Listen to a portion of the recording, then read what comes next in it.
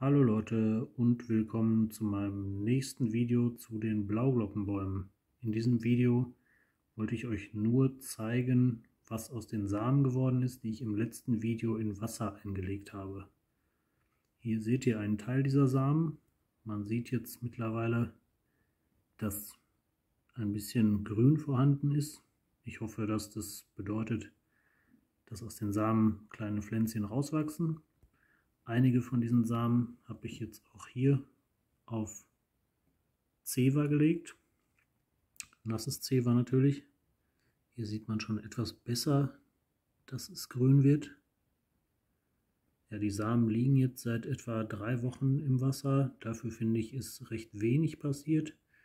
Ich hatte auf der Schüssel, in der die Samen lagen, noch eine Folie damit die Flüssigkeit nicht verdunstet.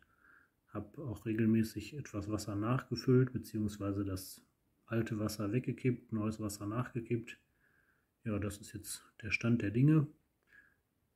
Da es jetzt draußen schon dunkel ist, kann ich vom größten Baum, den ich habe, jetzt kein Video machen. Ich kann euch allerdings sagen, ich habe gestern noch gemessen. Dieser ist jetzt etwa 85 cm groß.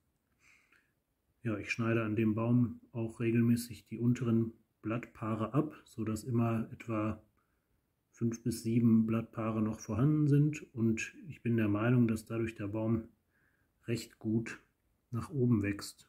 Also mit 85 cm bin ich auch ganz zufrieden. Ja, ich hoffe, dass aus den Samen, die ihr hier seht, demnächst dann noch mehr rauswächst.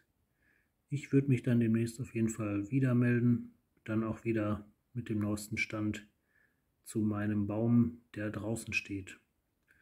Also bis dahin dann, danke fürs Zuschauen, macht's gut, bis zum nächsten Mal, ciao.